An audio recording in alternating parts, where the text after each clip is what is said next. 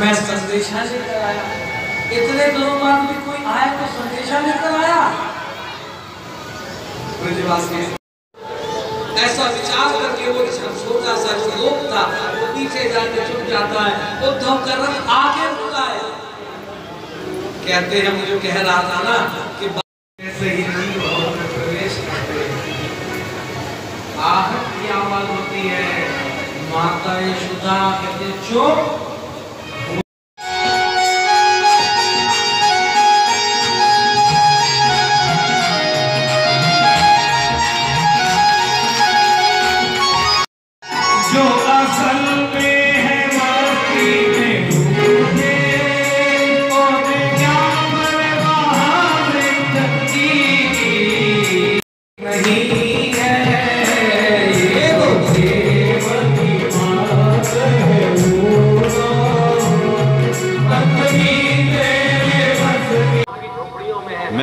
मैं दीनदयाल अग्रवाल एडवोकेट निवासी बेहोम नगर, श्री राम तीर्थ स्कूल के अंदर इंटर कॉलेज में एक शिव भागवत कथा का आयोजन किया गया है। ये कथा पाँच तारीख से शुरू हुई है और आज का छठवां दिन है। कल जो है, यहाँ पर गोवर्धन महाराज की पूजा हुई थी।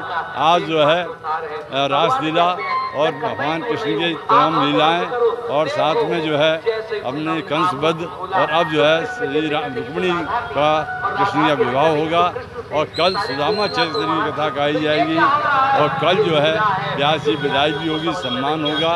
अभी हमारे, कल हमारे कार्यक्रम में श्री देवेंद्र शास्त्री जी, संजय गुप्ता जी और पीसी चतुर्वेदी वास्तव वकील साहब आए थे। उन्होंने व्यास जी का सम्मान किया और जो है ये चित्र चित्र लगे हैं।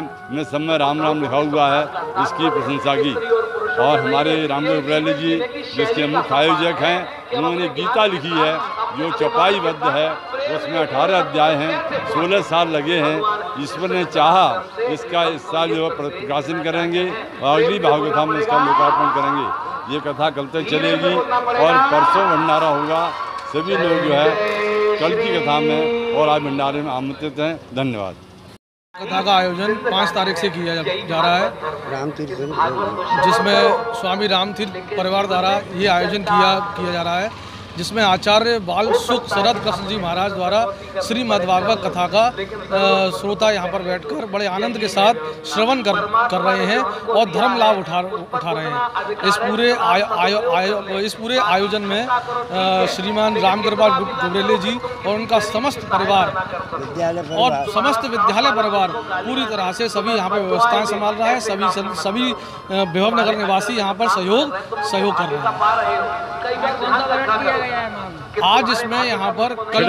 हाँ? छठन किया गया है और गोवर्धन पूजा कल कल कल हुई थी। और गोवर गोवर्धन